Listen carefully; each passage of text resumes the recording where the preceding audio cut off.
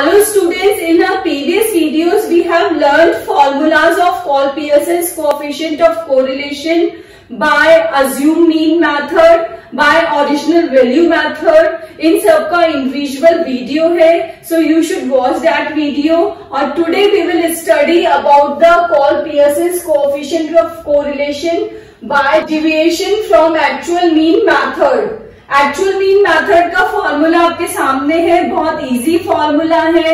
R is the symbol of correlation formula is sigma X Y divided by root sigma X square multiply by sigma Y square coefficient of correlation by the call Pearson formula find out करना आए तो आप कोई सा भी formula use कर सकते हैं।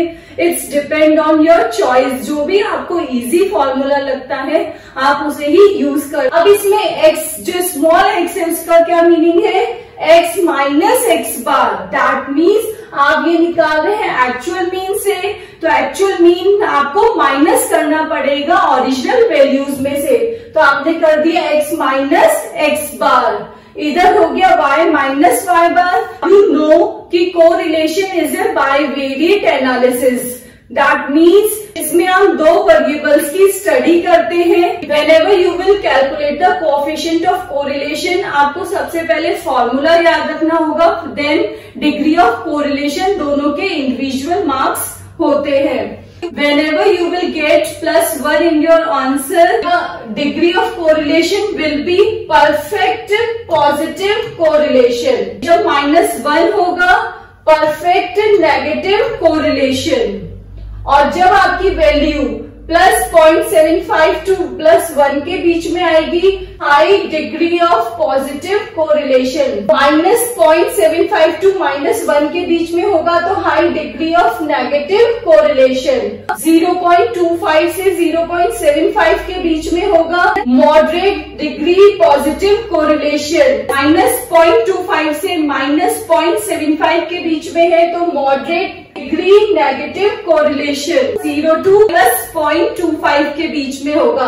तो आपका होगा low degree of positive correlation और नेगेटिव में क्या होगा? Zero to minus zero point two five के बीच में होगा। तो होगा low degree of negative correlation और अगर आपका आंसर ज़ीरो आ रहा है देन पे कोरिलेशन प्रेजेंट नहीं होगा। और we will solve the question Find the coefficient of correlation between x and y variables as given below by actual mean method. x is 1, 3, 4, 6, 8, 9, 11, 14. y is 15, 16, 14, 13, 11, 12, 10 and 8. x and y copied from the question in the solution table. Now we will calculate the small x. Small x equals to x minus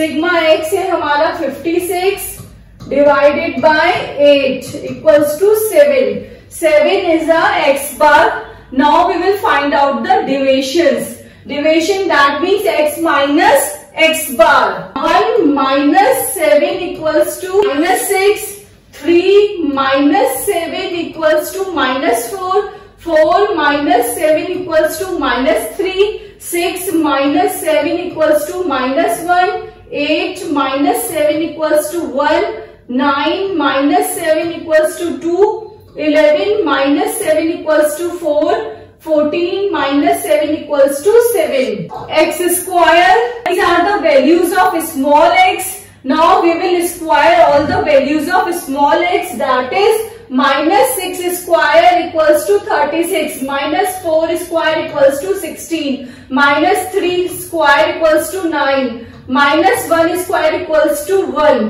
1 square equals to 1 2 square equals to 4 4 square equals to 16, 7 square equals to 49. Again we will calculate y bar that is actual mean. Sigma y divided by n. Sigma y है हमारा 96 divided by 8 that is 12. y bar आ गया हमारा 12. Now we will find out the deviations. Y minus y bar 15 minus 12 equals to 3 16 minus 12 equals to 4 14 minus 12 equals to 2 13 minus 12 equals to 1 11 minus 12 equals to minus 1 12 minus 12 equals to 0 7 minus 12 equals to minus 5 8 minus 12 equals to minus 4 now y square ये y आ गया, अब इसका square कर देंगे। Three square equals to nine four square equals to sixteen two square equals to four one square equals to one minus one square equals to one zero is zero, minus 5 square equals to 25 minus 4 square equals to 16 we'll find out x ये रहा आपका y इधर है आपका। Minus six multiply by three equals to minus eighteen minus four multiply by four equals to sixteen minus three multiply by two equals to six minus one multiply by one equals to minus one one multiply by minus one equals to minus one two multiply by zero equals to zero, four multiply by minus five equals to minus twenty, seven multiply by four equals to minus twenty eight.